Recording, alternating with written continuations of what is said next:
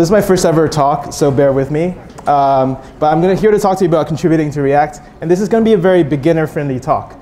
Um, so, so, kind of, you know, all experience levels are, are welcome.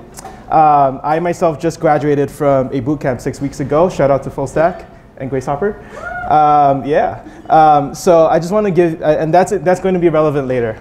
Um, so uh, the, the, this story starts uh, at Hacktoberfest. Who, uh, did anyone participate in Hacktoberfest here? I see some shirts.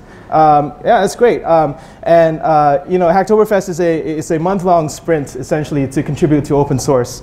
Um, and you know, it sounds like a great idea. And the first question is, all right, okay, how do I start? Um, and uh, you might have heard of this little website called Meetup.com. Uh, I don't know if it's going to be around, um, but. Uh, Uh, Meetup actually organized, uh, well, Git, uh, DigitalOcean and, and, um, and GitHub actually organized a meetup to start Hacktoberfest in this very room.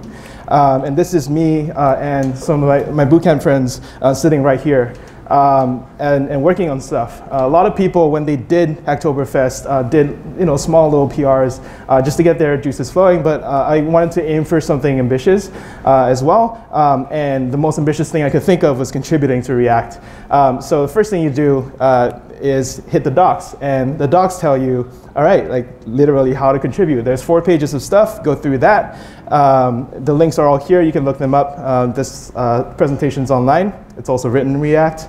Uh, fun note. Um, and then it also tells you how to make your first pull request. Um, and really, it's, it's, it's laid out for you. Like, I don't see any other uh, open source project that it's so easy to, to, to get started in. Um, and it's a, it's, a, it's a wonder why uh, more people don't get, don't get involved. Um, and that's what I'm here to, to sort of advocate. Um, so they actually label good first issues and, and difficulty levels in their GitHub. This is a screenshot as of 2 a.m. this morning because uh, that's when I put this together. Um, um, and uh, you know, it's like you know, they they, they kind of go through and they could solve this themselves in like five minutes, but they leave it out so that they have that funnel of people uh, uh getting used to the React code base um, and and getting used to working in open source. Um, the first thing you do is claim the issue, so just calling dibs. Um, because a lot of people, it's very competitive. You can see that they applied the uh, difficulty beginner thing on October 4th. Uh, I, I, recognize the, uh, the text is a little small here, so I'm gonna, I'm gonna uh, verbally narrate, and I claimed it on October 5th. So uh, you do want to sort of monitor the, the GitHub repos uh, for your first issues if you want to claim them. Uh, just, to just to explain a little bit, uh, because my, the issue I picked is very relatable. Um, when you first learn React, um, a lot of the times, you know, when you, when you declare a component, you, uh, you're supposed to extend react.component, right?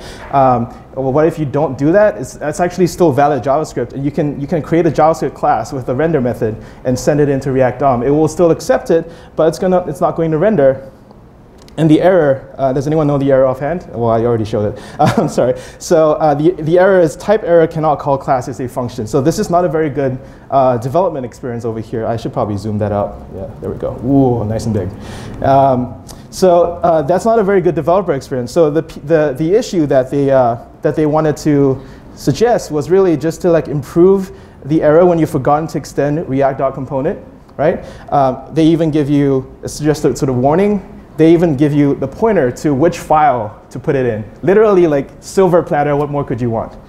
Only problem is, like, so, so it should be easy, right? But the only problem is, I went, I forked React, I built it locally on my machine, and I was like, all right, I'm gonna knock this out in like, you know, five minutes, I'm done, and it's gonna be, it's gonna be great.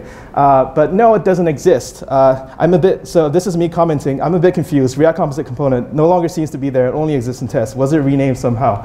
Um, so uh, there's, there's some hints here, but any, any ideas from the audience on why you think uh, the files might no longer exist when, when they clearly pointed to where it was? Any ideas? What's that?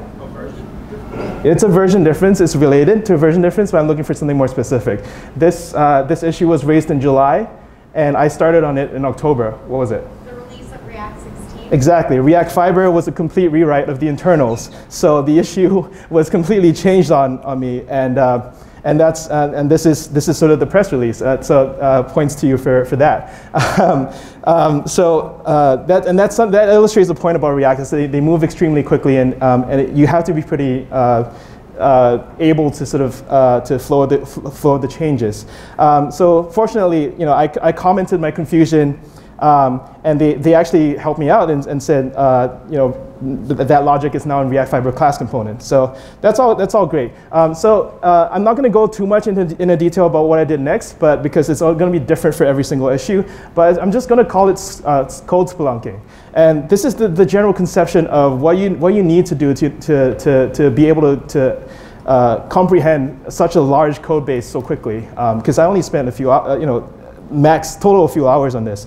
Um, first is you read, read the docs, right? This is the second part of the docs where, where, they, where they give you the overview of the code base, how it's organized.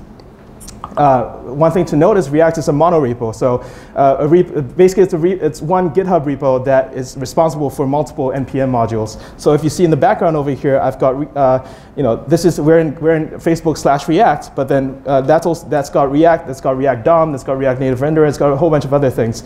Um, so uh, that's all explained in the docs. Um, React internals get rearranged a lot, as, you've, as I've already explained. What that also means is that if you take a while to, to uh, do, your, do your fixes, then merge conflicts will happen, um, and you have to sort of keep up to speed on that. Um, the last tip I, I, probably have is to use the fixtures, and you might ask what fixtures are, because uh, I think that's a very uh, uh, niche kind of things. Um, so fixtures are integration tests. Uh, this is an example of what an integration test looks like.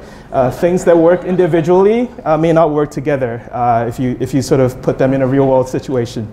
Um, so this is a React fixture, and fixtures are awesome because basically what they do is they set up default use cases for you to look at. This is the React DOM fixture where you can actually uh, select different React versions and see the same thing in different versions. So it's very good for you to see regressions in your behavior as well as in your local build when you're trying to add a new warning as I was trying to do. So um, you know, you should use them and, and definitely check them out. Um, they're, they're a great concept that uh, applies beyond React. So three hours of trial and error. This is Hugh Jackman uh, in the great hacking scene. Um, uh, and I checked all, I, I, like followed all the instructions, dotted every I and crossed every T.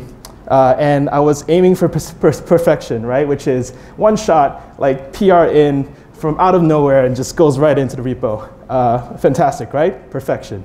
Um, but unfortunately, uh, that was not so, it didn't go so well. Um, this is Sebastian Markbåge, uh, the, uh, the first respondent on my PR. Uh, this guy is a member of TC39 and on the React uh, committee. Um, he is responsible for deciding the future of JavaScript, and uh, he's taking time out of his day telling me that um, it looks like uh, I have some extra JSON files in my commit.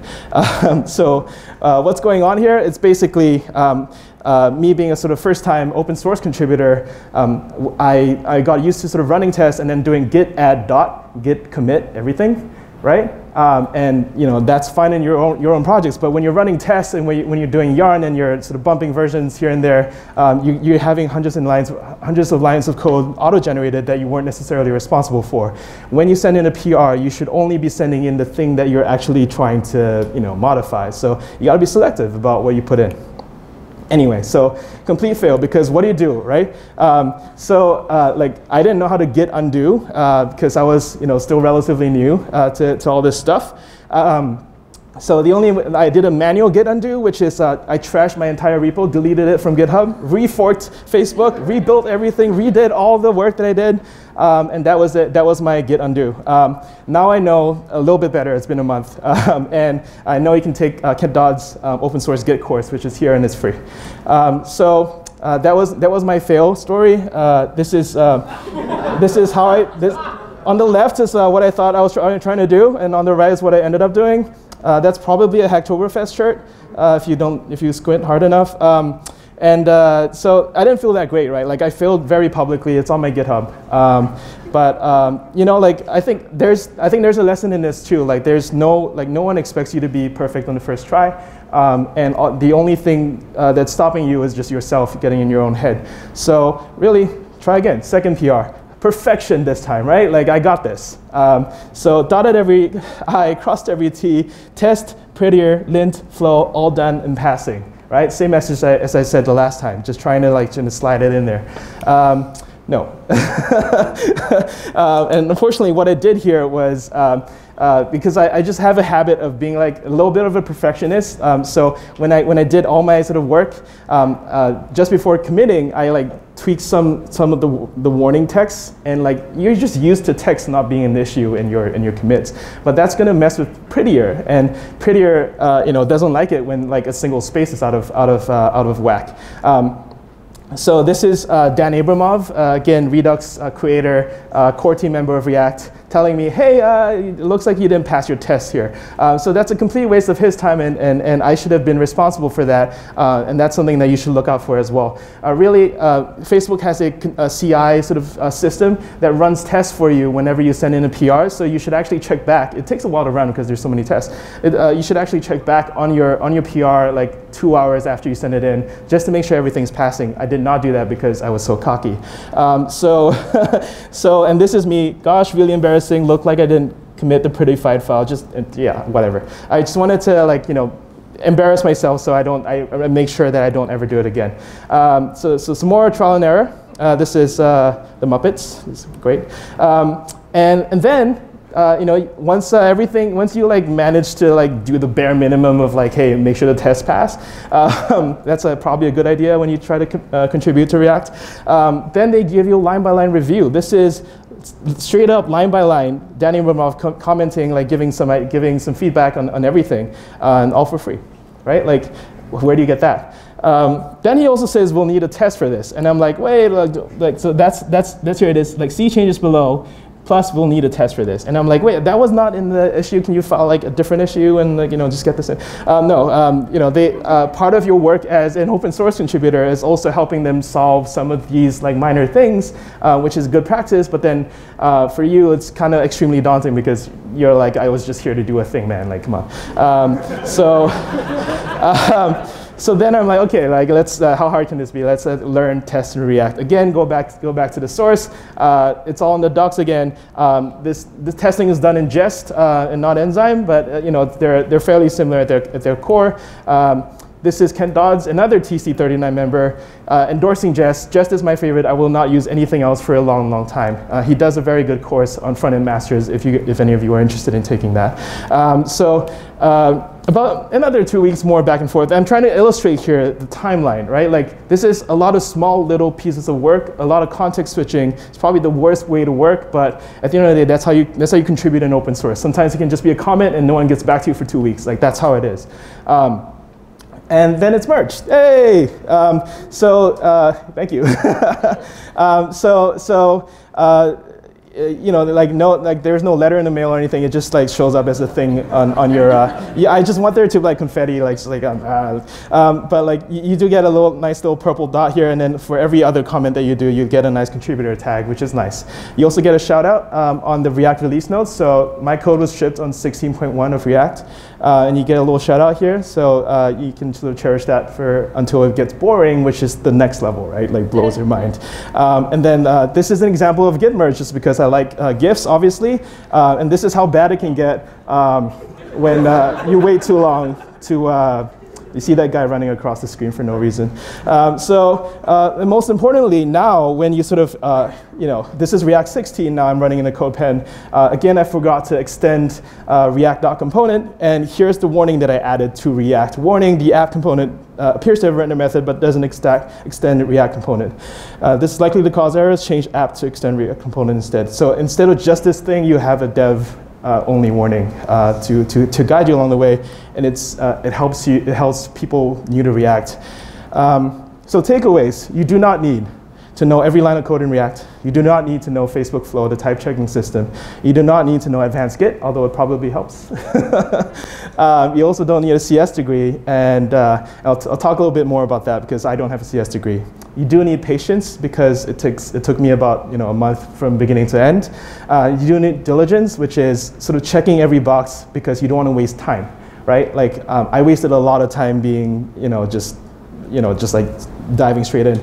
You need determination because uh, sometimes the, the specs change on you. I didn't know I had to do a test the, from, the, from the beginning, but like I just look at that as like getting used to how things are in a, in a repo. Because when you, when you join um, you know, a, a, repo, you're joining a community, and they, they have established norms that uh, you might not necessarily know when you when you come in. So uh, don't don't be don't be sort of upset when they when they go like, oh, like by the way, you, you didn't do this, by the way, and, and you're like, that wasn't in the original spec. Um, that's not how you would work in real life. But then uh, this is open source, and people have sort of uh, you know community norms as well as uh, in a limited time. Um, and lastly, I think you need to enjoy it. Like if, if, if you're not having fun, then this is not for you. Uh, it's not for everyone, uh, but uh, if, you, if you like sort of uh, you know, participating in, in, in, this kind of open source stuff, um, I think it should be fun. Um, I don't know what I have here. Oh, yeah, so, oh, so more inspiration. Uh, this is broken in Safari, thank you Safari. Um, but uh, but this, uh, this was meant to show, oh God, okay. Uh, all right, this is meant to show the uh, eight team members, only eight people are paid full-time to work on React. There's eight team members on, on, on, on the Facebook core team. Um, and only, okay, so um, there's a text at the bottom, just imagine, again, using the GPU in your head. Uh, uh, right there, um, and it's and it's meant to say from an interview that was given recently, actually, that um, only one of these eight people have a CS degree, and frankly, I don't even care which one. Like the whole point is they, they all sort of came into open source uh, from the community. None of them were on the original Facebook team when uh, Facebook was when React was open sourced. Uh, Flarnie uh, on, on the bottom left here was a bootcamp graduate from App Academy in, in 2013, learned React in 2015. Sophie Alpert uh, is, uh, was the original first, open, uh, first user of Facebook, uh, uh, first non-Facebook, non-Instagram user of React, first open source contributor, and now runs the entire team. Um, so like very much open, like, and everyone else was hired from, from sort of open source. Um, so that's, those are inspirations. Uh, in just like in general, you kind of look up to them. This is inspiration for you. Um, React is 1.8 million downloads a month. It's 83,000 GitHub stars. So reasonably about, you know, you can conservatively say there's more than 100,000 React users, but there's only 1,144 contributors. So you can be part of the 1%. Um, so, uh, and you can join the cool kids. Uh, so that's it. Uh, my name is Shawn. Um, I'm happy to sort of mentor anyone if you're interested in getting uh, involved in React. Um, I do run a podcast for people uh, thinking about joining a bootcamp or who know people so that you can recommend them if they're thinking about joining a bootcamp. That's called Imposter Syndrome. Um, and hey, thank you for the presentation. Uh, what's going to be your next pull request? Oh, um, so I'm already working on my second pull request, which is to make the server-side rendering uh, fixture in React.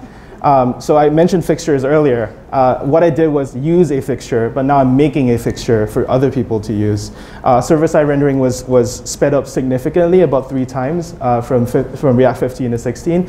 And a lot of uh, edge cases are not being accounted for in, uh, in server-side rendering. So that's what I'm doing. Uh, I think it's going to take way longer than, than my original PR, but now I know how to work in React. So I'm also mentoring one other kid um, to, to do exactly what I did, which is add a warning. I think that's the best way to, to get started. Now that you've been working in the uh, code base for a while and have seen how they tag their bugs and issues, how big is the step between entry level versus medium complexity versus hard complexity? Do you feel you could solve a medium complexity issue today? And do you feel you could solve a hard complexity issue today? Um, so, sure, that's, uh, that's a good question. Um, I don't think there's a straight answer. Um, you know, I think I think they all vary in terms of like the the, the levels. I'm just this is the Facebook uh, issues thing. Um, first of all, uh, uh, there is no hard complex complexity. Basically, uh, people who are at the like, kind of like kind of hard level um, just kind of look out for every other issue and uh, look out for like you know see us uh, RFCs, which like requests for comments for future sort of features of React. Um, so I think that's like kind of like the, the hard level. I'm not there yet. Um, the, uh, the medium levels I, I, am tackling, which is the SSR fixture. Uh, that's the one um, I'm working on right now. Uh, where is it? Uh, oh, there's, okay, well, there's something on, that's difficulty challenging, but uh, these are the medium level ones. Um, and I'm working on right now um, all I can say is like you have to learn as, as you go along. Like you, you'll, you'll never feel ready um, right? And then that's kind of the whole point of this. Um, and at some point, like I've seen people say they're in over their heads and they give it up to, to someone else to work on, um, but then you can still stay involved in the issue and, and kind of learn from them. Oh, thank you so much. Thank you.